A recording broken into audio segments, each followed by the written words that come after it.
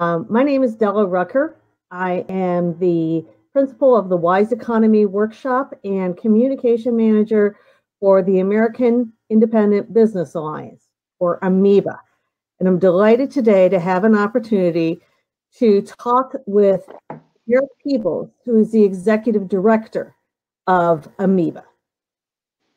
And our goal here today is really to introduce you to this organization. Some of you are familiar with it, some of you it it may be relatively new to you. I know for folks that have been uh, reading, to my great thanks, my work over the last many years. Um, a lot of what you're going to hear out of Derek with regard to AMIBA, particularly where AMIBA is today, where AMIBA wants to go in the future, that's going to sound um, kind of familiar to you. And so I'm delighted and honored to be able to work with this organization to help to bring some of those things to reality. So Derek, thank you for joining me today. Mm-hmm. I really appreciate it. Why don't you? Oh, thank you. All right, awesome. Why don't you start out with a little bit of an introduction? Uh, tell us a little bit about your own background and how you got involved in AMIBA initially. Uh, sure. So, uh, as far as background, um, going way back, I started my career in small business banking uh, with JP Morgan Chase Bank, and that led to a community development position where I was doing some commercial banking, but also doing some community reinvestment. This was around the time uh, before and a little bit after the um, 2009 economic meltdown. And so my experience with that and and just my experience and and working with my clients and and kind of seeing um, you know the community and where it stood after the economic meltdown it was uh, my time because they were laying off bankers left and right obviously uh, after the crisis and so it was my chance to really get into um, what I would call community economic development. And that's a combination of community development and economic development. You know, one is where what community development is about creating a quality of life. It's about, you know, the social services and it's a more community driven. Whereas economic development is about creating jobs and, and building wealth. And so I kind of stuck myself in between um, because I saw that the two functions, economic and community development, were not really working together. And for strong local economies, I felt that that was really important to start doing work uh, in that area. And so, fast forward, you know, about 10 years or so of doing that work and, and, and uh, holding uh, multiple leadership positions um, with key organizations here in Cincinnati, I joined AMIBA uh, about four years ago as a board member. And if you remember, Della, you were the one that introduced me to AMIBA mm-hmm. and uh, took me out to Montana where I got to meet the folks and and it just kind of took off from there. So I was invited to. Uh, plus, they were like they were liking a lot and kind of resonated with um, a lot of the things that I was talking about about merging community development and economic development together for sustainable uh, community development. And so they really kind of resonated with that. And, and at the time, one of the things that I was seeing was that um, throughout this work, small businesses were not really being focused on. And so it was really kind of just a natural match. And I joined the board. And um, one of my first projects as a board member was I led the diversity campaign, mm-hmm. um, where I traveled around to about five different affiliates around the country and spoke about asset based community development uh, in the sense of what um, small business alliances can do um, to to help strengthen their local economy. And uh, so, you know, last July, uh, the co-directors who started AMIBA 20 years ago decided that um, they wanted to turn a new leaf and and um, start new endeavors. And so there was a six month process where they were uh, basically um, working on stepping down. and I was uh, effectively recruited to take over the position as executive director, and that happened last July. And so um, I could talk briefly about just AMIBA. Nobody know, I'm sure not many people or may not know about it. So um, AMIBA, as it stands for the American Independent Business Alliance. Mm-hmm. AMIBA was started 20 years ago, and the primary objective in the mission, which still uh, stands today, was to um, support the growth and development of local business alliances across the country.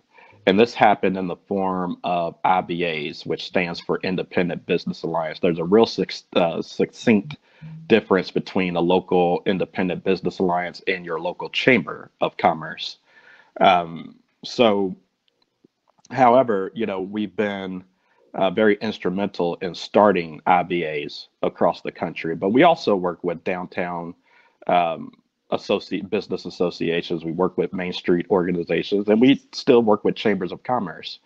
Uh, our primary um, goal and and the resource that we provide has been around buy local and uh, creating effective buy local campaigns. And so that's what we do. We help local alliances, chambers, downtown associations across the country and provide them with resources on how to build effective buy local campaigns.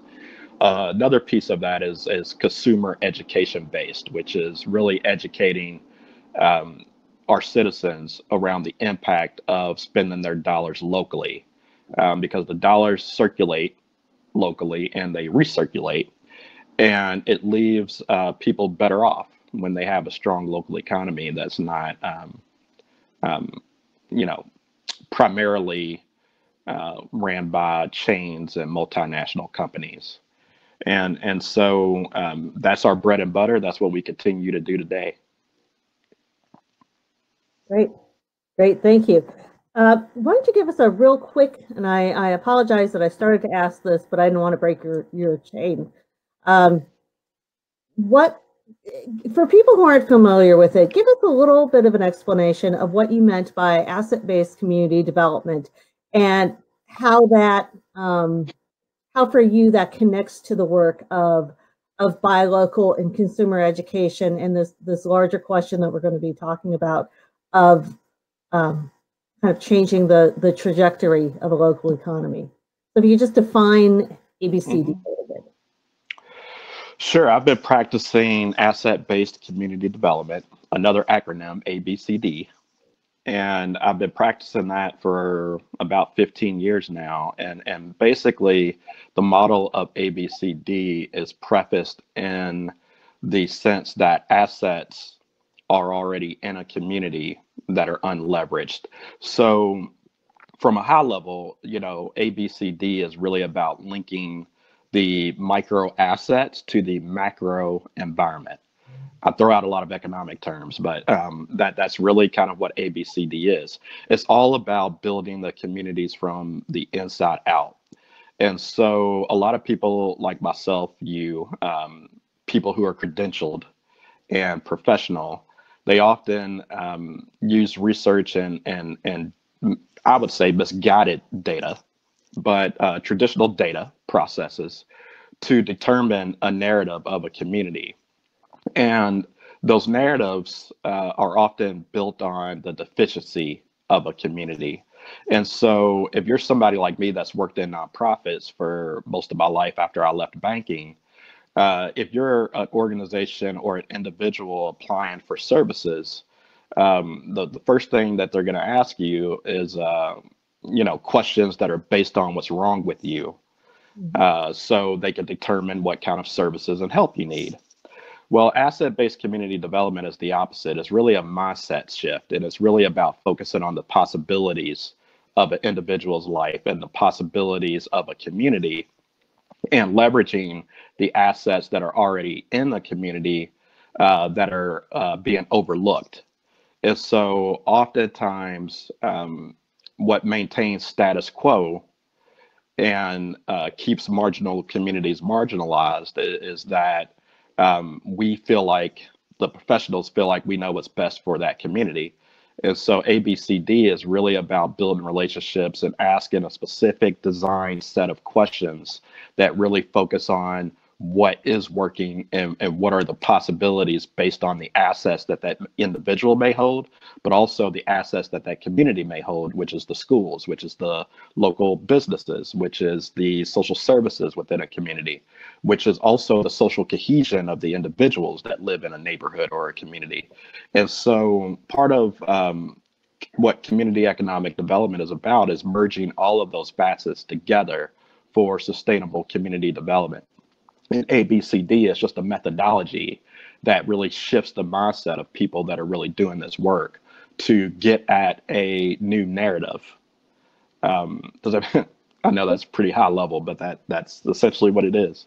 No, and, and and I think, you know, as you and I have talked about before, that's incredibly profound. The difference in um, what's possible when you mm-hmm. come at this from an asset point of view a possibility point of view versus the deficiency point of view, which most of us were taught to to, uh, lean into um, from our early days. And having given that definition and having brought this question of asset-based community development into the conversation, I think that's a great setup for what it is that AMIBA asked you to take on in in in stepping into this role. So when the board asked you and the and and you know kind of cajoled you to some extent mm-hmm. into stepping into this position, what did they want you to do that was different from what AMIBA had done for the previous 20 years? Sure. So just to give uh, um, a context, AMIBA was one of the two founding organizations of the local economy movement, and and so they brought me on because the local economy movement needs in- innovation, and, and so looking at my leadership that they were attracted to, um, it was really kind of um, how can we take this organization uh, into the next phase of the local economy movement. So it was really I was brought on to to transition the organization uh, really into the 21st century, and I would say that um, a lot of what attracted me to AMIBA and attracted them to me was this idea of changing the narrative of how we think about our local economies and and so um, just for example, when you look at just the the whole topic of marketing, um, marketing is a tactic and it's a function that's really built around making consumers. And to strengthen the local economy, uh, it doesn't only take consumers, but it, it takes citizenship. Mm. And, and, so it really uh, I would say that it was it was the right time for AMIBA to move into that direction and focus on building relationships and breaking the silos and getting our local alliances connected with uh, people that make economic development policy decisions. Also, uh, how to deepen their relationships with their local independent business members. And so I was brought on as a connector and, and to connect and collaborate. And so that was one of the two things that AMIBA uh, had been struggling with, I would say, over the past few years as Amazon kind of took on and started really kind of impacting and, and competing um, at a disadvantage with a lot of our uh, local independent businesses.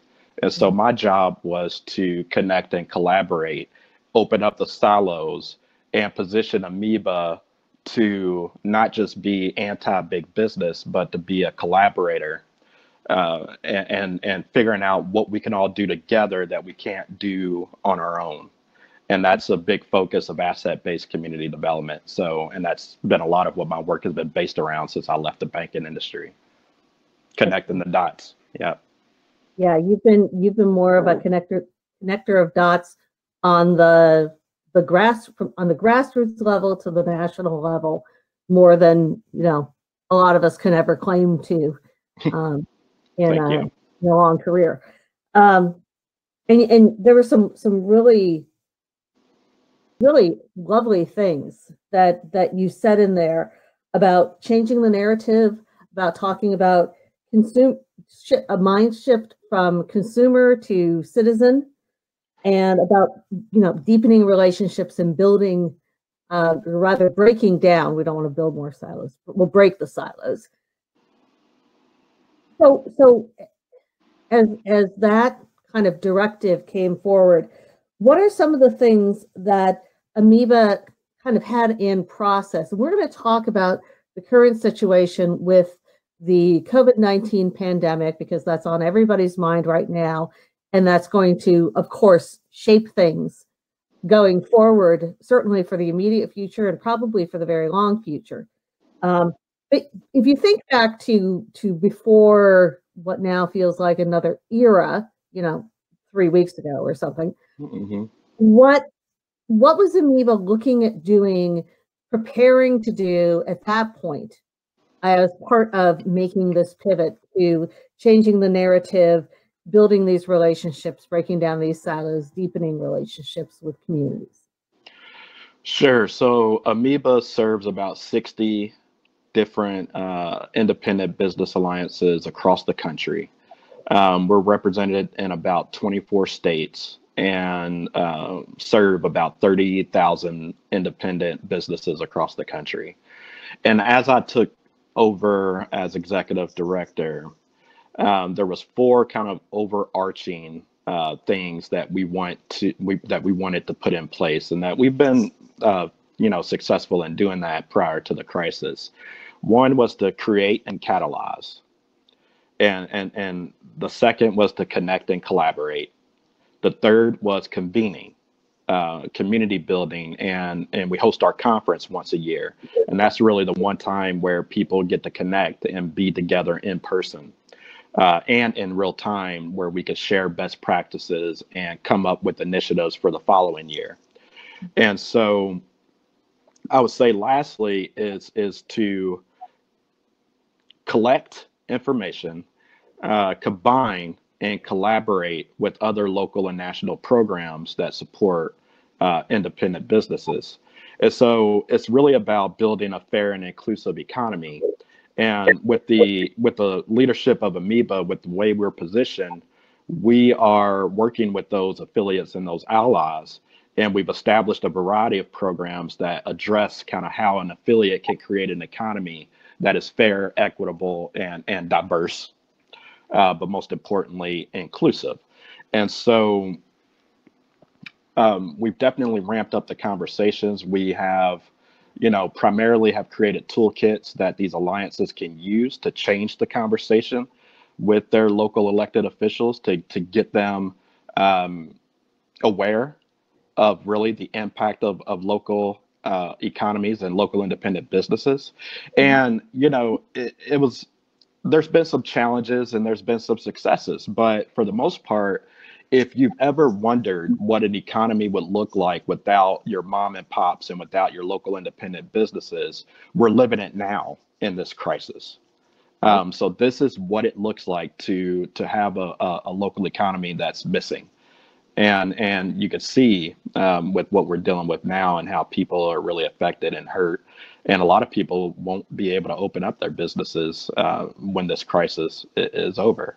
And, and, so our job is to now uh, advance our mission to start advocating on a federal and a state local government level uh, to to really get policies passed that are friendly to local independent businesses that protects them for when disasters like this happen. Um, you know, because if we don't change the infrastructure, if we don't change the mindset of how we think about our economy as a whole, um, when the next pandemic comes, we're going to be in this situation again, if not worse. Very good. Or the next, in the next crisis of many kinds. we, could, we could come up with some other ones too. Yeah. Right. Right. Excellent.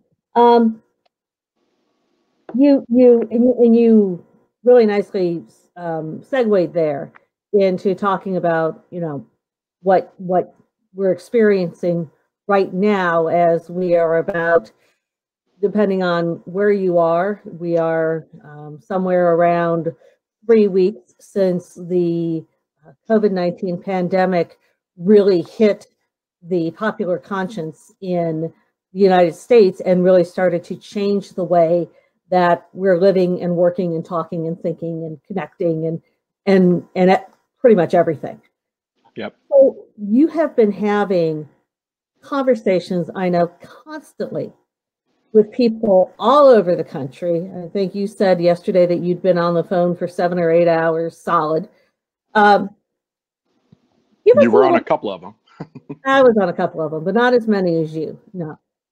So, what? It, tell me what you're seeing. Tell us about what you're seeing, what you're hearing, what what what kind of themes and what kinds of trends you're starting to um, to get a sense of through all these conversations. well, obviously, I think what we are seeing is uh, we're seeing some resilience. Uh, I've seen a lot of resilience, and I would say that um, not uh, maybe the majority of the businesses haven't been able to do this, but a nice percentage of businesses have been able to transition um, their business models just within the past three weeks as we've dealt with this crisis, and and and that's been uh, amazing. The other thing that I'm seeing is people are really scared and anxious and really at a place to where they really don't know what to do. And so a lot of energy is really focused on what is coming down in the stimulus package from the federal government. And uh, I could say personally, and I could probably speak on behalf of our movement, that the that the stimulus package is not enough to keep businesses alive. And, you know, um, what we're seeing is, is that it's probably going to take a few more trillion dollars uh, to really get the economy moving again, and, and it's going to have to be phased out. And so, um, hearing now that uh, it may be three weeks before um, SBA really starts dispensing this cash, well, a lot of businesses are not going to be able to last that long. And um, the businesses that do uh, qualify and and will get the loans and the funding that's coming out, it won't keep them alive for more than three or four months. And so there's definitely going to be the need for another stimulus package. But I think, uh, you know, people are hopeful and we're Americans, and so you know we we we've uh, we've been at war our existence, and, and, so I think uh, this is something that will will get past. But um, believe it or not, the opportunity that I see is the awareness that Americans as a whole um, have developed over really the importance of having a sound economy that could weather the storm during these type of situations. So I think once we come out of this crisis, there's going to be a lot of, uh, I think, a shift in cultural perspect- perspectives, and I think there's going to be a mass shift in how we think about our economy moving forward. Mm. Um, this generation that's alive today, that's dealing with this crisis, also dealt with the 2009 economic meltdown and through what I've been researching, I've never, uh, I haven't come across uh, any other time in our country where we have dealt with a pandemic like this and also a recession um, within a 10 year span. Mm. And so this is very unique for us. And I think once we come out of this, um, we're going to be super aware. And I think it's also going to change our political landscape. Well, that's no, that's really fascinating. And you know, we were talking. You and I were well. You were speaking, and I was listening on a uh, a webinar that was put on by. Uh, it was the Harvard Harvard Club. Was that the Harvard that? Club? Yes, that was last night. Yes. So on the Harvard Club, and one of the things that you said really beautifully there was that we were seeing this transition, this increasing awareness of the importance of local communities, the attachment to local communities, the awareness of the importance of investing in the places that we care about, particularly through through businesses that are locally invested. And you spoke beautifully about that. Um, you know, referencing even the fact of something as simple. I mean, we we can, you know, I'm I'm spent a long time in economic development. I can spin out economic impact studies for you if needed. But even something as as crucial to the community as sponsoring little league teams. And you mm. said, mm. you know, Amazon is not going to sponsor your local little league team, but your local restaurant, your local um, your local shop, your local grocery store, your local etc. They're going to be the ones who sponsor that. So, mm-hmm. you know, that's that's very um, that's that's a really crucial piece of this equation. And as you pointed out on on that webinar last night, generally it seems like people have had more and more of an awareness of that, even to the point where my otherwise very conservative in-laws, you know, place a high priority on buying local and going to local restaurants and independent businesses and et cetera, et cetera. Um, even when, you know, some of their other political beliefs might, you know, might might fall on a different place in the spectrum. So that that understanding has really become pretty universal. Um, but it's been universal in maybe a little more of an abstract manner.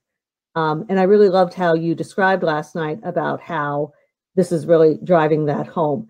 You use the metaphor of a backbone, the small businesses as the backbone of the community. Would you would you kind of do that again while we're on this now? Sure. So I spoke a little while ago about um, marketing, and I have an education in public relations. And it really took me uh, working in the economy, working in the corporate um, sector, and working in the private sector, but also working in the public sector. And what I've seen is that really marketing and the messages that our Americans receive on a daily basis every message that they receive on a daily basis, maybe eight times a day, they are being told that the products and what they have in their community is not enough. And our economy has shifted towards um, technology, which is great. I love technology, but it's also shifted towards um, this this this idea and this insatiable desire for convenience and through that, you have Amazon and you have Walmart. You have these big box chains that that offer that convenience, um, and and they are there. But these businesses do not pay taxes. Amazon does not pay taxes. And when you think about the bailout that we are receiving right now, um, we wouldn't receive this bailout if it wasn't for our own tax dollars. And so when you're talking about a company like Amazon, which this is a really kind of cultural type of um, conversation that I think needs to be spoke about. But even when you heard about the situation of Amazon moving to New York City, when you look at Amazon, primarily the jobs that that go that Amazon offers are, are basically taken by people, um, quite honestly, in marginalized situations. Um, there may be situations where you have people that are retired and looking to earn a little bit of money, things like that. Uh, we live in a gig economy, so people are working multiple jobs, uh, and there's nothing wrong with that. But when you look at from a community perspective, when dollars are circulating locally, and businesses is the foundation for keeping the dollars circulating locally, when those dollars are kept in a community, we have better schools, we have uh, better transit, we have better parks, we have because this is what um, the tax base in a in a local community pays for. Mm-hmm. And the reference that I was making last night is that um, Amazon doesn't pay taxes, so obviously their doc the dollars don't circulate locally. Um, and the people that work for Amazon often don't get the benefits that they should be receiving as a American employee. and, and, and, so you have some I think, misguided truths there where yes, Amazon may come into a community and offer 200 plus jobs, but that is really a short term gain uh, taken in place of a long term loss. Because we know that Amazon can just pick up and move whenever they want.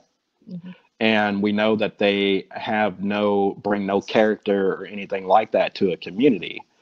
And, and so um, when you look at, for instance, the independent booksellers, mm-hmm. when Amazon came around, they almost put independent booksellers out of business.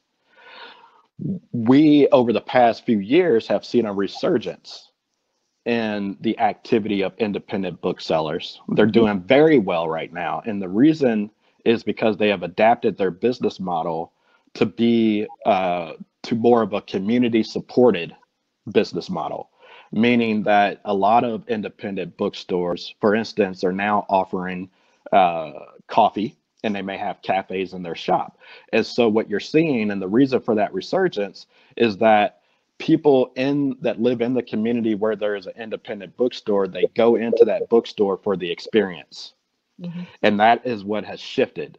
People are now looking for an experience in their neighborhood with their local businesses, and Amazon doesn't provide that. And so that's the primary reason we've seen a resurgence in independent booksellers, for instance. And, and so that is a example of the success of our work in promoting effective buy local campaigns, but also from a consumer education point, really kind of sharing data and and sharing narratives that make residents aware that yes you are a part of strengthening our local economy and how that is done is by you um, building relationships and, and having uh, a link to the businesses in your neighborhood and and, and so um, I can I can get on a soapbox about that all day but that's really kind of where uh, is an example of the need to focus on community and the economy. I think we've gotten away from that um, through consumerism. And so a lot of what I talk about is how can we shift um, consumerism back into citizenship? And what is the role that local independent businesses, corporations, businesses of all sizes have to do with that? Um, but we know that if you're a chain, um, most likely, or Starbucks or, or a Dunkin' Donuts, um, these businesses are headquartered elsewhere. So you may have a franchise that you may think is, yeah, I'm a local business because I, I own a franchise. But the question is, is are your dollars staying in the community through that franchise? And I would assume that it's probably not because under a franchise, there's different rules and regulations that um, require you to send money out of the community into the coffers of that uh, corporation um, because that's how they make money is by selling franchises. And mm-hmm. so uh, a lot of that has been really kind of educating uh, consumers and citizens on what an actual local independent business is. Because you may think it's your local subway that is owned by somebody that's local, but it's really a matter of are those dollars staying local through that business? And through mm-hmm. chains, oftentimes it doesn't. And we should point, point out you've been sipping from a United Dairy Farmers cup, which um, is a local Cincinnati institution, a Southwestern Ohio institution that uh, we all love for their ice cream and their good coffee and uh, uh, hey they started out local they may not be they're they're a chain now but uh, UDF started out local and and, and the reason I'm drinking UDF coffee at the moment is because uh, my local Carabello, where we always meet, is closed. so. Yeah, I know. That's a lot of them. Um. So yeah. So given everything that we've talked about, let's talk a little bit about what the priorities are for AMIBA. I know we're still, you know, you and I and many other people are still working on okay, how do we most effectively respond to what's needed right now. Mm-hmm. But given that everything's still a little bit in flux, talk a little bit at a high level of what AMIBA's priorities are going to be in terms of actions, in terms of advocacy, in terms of of all of the the the four C's that you actually it was like eight or ten C's because there was a lot of C's um, that you identified before. What's Amoeba going to be um, focusing on over the next call it three, four, or five months? I would say we are aiming to really kind of shift our focus towards reframing economic development. And um, there's other initiatives uh, regarding, you know, um, you know, advocacy issues that I won't really get into that involves a lot of antitrust. Um, but uh, I would say our priority, which is really around connecting and collaborating, really involves learning from other networks and other local economy leaders on how to grow and develop the uh, the local independent business alliance, and and that's what we'll continue to do, and that's what we've always um, have done. I would say the the new expanded AMIBA is really going to focus on a certain function of economic development, which revolves around business retention and expansion. We feel the need that um, you know BR&E, which is another acronym for business retention and expansion, is really an outdated model that hasn't served uh, local economies um, in years or maybe ever. And, and, so we're really going to aim over the next few months is how can we refine how business retention and expansion is conducted. Um, in the economic development world, most of the resources that are put towards uh, local governments and economic development organizations really revolves around attracting large businesses to a community. Why? Because the incentives are based around that, and it's based around job creation. Uh, however, very limited resources are put towards retaining businesses that are already in the community. So I talked about ABCD and asset-based community development and what that is. It's really about building communities from the inside out, not from the outside in and building and focusing on the assets that are already there. So when you're looking at business retention and expansion, uh, there's not a whole lot that happens around business retention, which is focusing on the businesses that are already located in your community. And the business retention efforts that are conducted are often uh, spent towards, um, well, the E side of BR&E, and the east side of BR&E is expansion.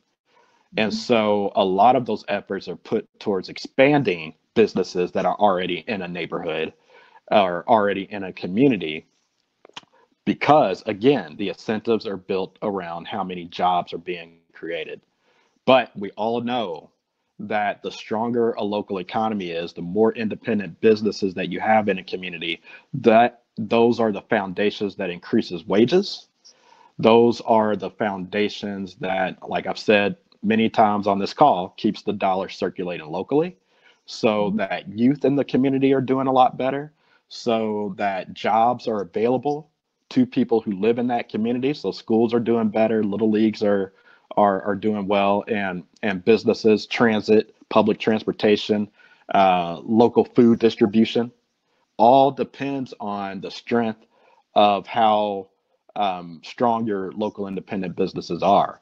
And so we're really taking uh, a step into training our mm-hmm. alliance leaders how to change the conversation with their economic development policymakers.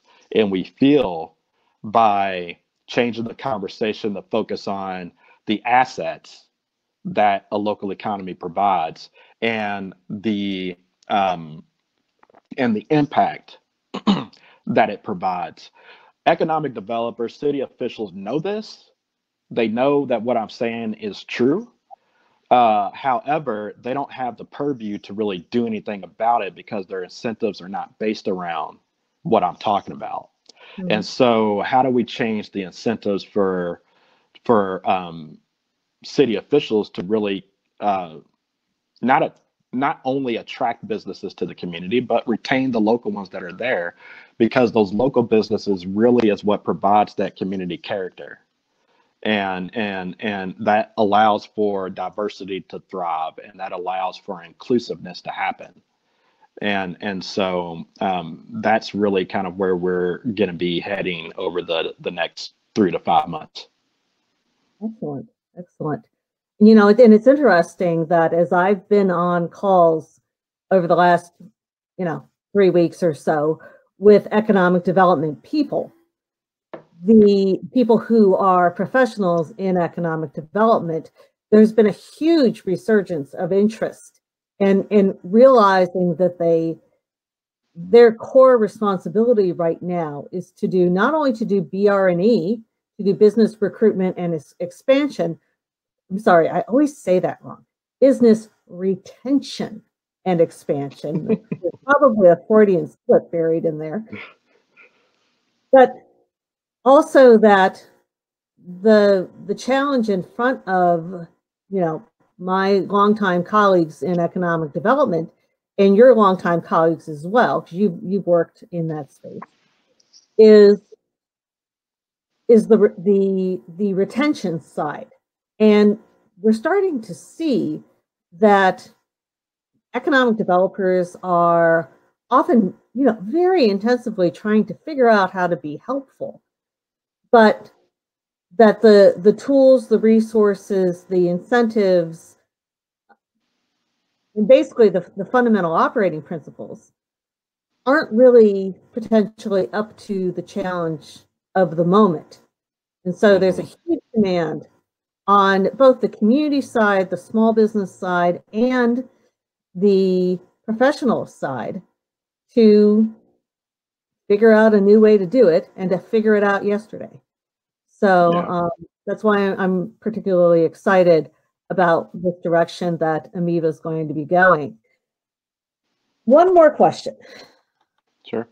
Um, what advice or encouragement do you have for the folks that are listening and watching this video in the future?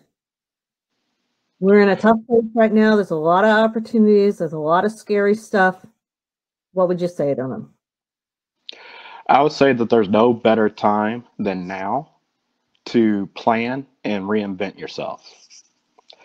And that's where I kind of hold a lot of my motivation personally uh, during this time right now is is what am I going to do after this is over, and and what is my role um, as a citizen, as a as a as a small business advocate um, after this crisis. And I think we will get through this storm. But I think the best piece of advice that I can give people that are on this call is to think really hard about how you're going to become an asset in your community. And and and so I think businesses and the economy will be able to get back up again. I think it's going to take time. And so, you know, my other advice is is to is to be patient. Um, definitely pay attention to what we are doing and what others are doing because uh, resources are coming out from the federal government to get us through this. I don't think it's enough, but um, what we can all do together is is advocate and and keep people aware and and and share the story of really what has happened over the uh, past three weeks and how that has affected us, um, our businesses, and and also us personally. You know, the thing about entrepreneurship and business owners, and something that's never been focused on, even before this crisis. Um, you and I years ago had discussions about um, the level of mental health concern within our entrepreneurship community and within our business owners. And so um, make yourself aware, educate yourself, because a lot of what we are dealing with right now, um, I think is something that we've always tried to warn people about, or you know, that's the reason why we um, do what we do, is to convince people that local economies really are the backbone of America uh, local independent businesses are really the backbone of our democracy. And, and, and so if, if you believe in democracy, there is a role that you as an individual um, have to play once we get out of this uh, crisis and, and even right now. So pay attention, um, read, educate yourself, and and and have a plan for when this crisis is over. And and because there's no other better time to do that other than now because we have the time. And so you know, I would leave it there. Yeah, I'm I'm definitely a faith-based uh, individual. I'm an Episcopalian, and and and so a lot of um, a lot of my sanity relies in my faith, and and and so um, not to get religious, but faith really plays a part in what we're dealing with right now and, and how to get through this storm. Excellent. Great. Well, thank you, Derek. Um, it's been a great conversation. I'm really grateful for you taking the time to articulate um, your thoughts and, and kind of that direction and, and perception of what's needed and, and where we're going in the future.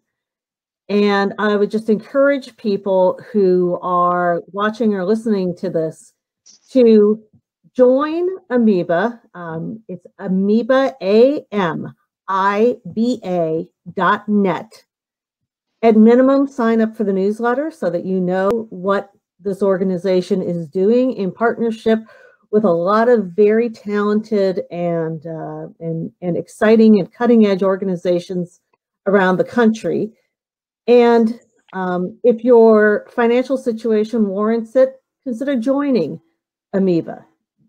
Joining gives you access to some additional resources that whether you're just a person who's interested in this work or you're a business who works with small businesses or you're an you're a, an independent business alliance, a chamber of commerce, an economic development agency, any organization like that, there's special resources for you, some of which are existing, some of which are iba.net.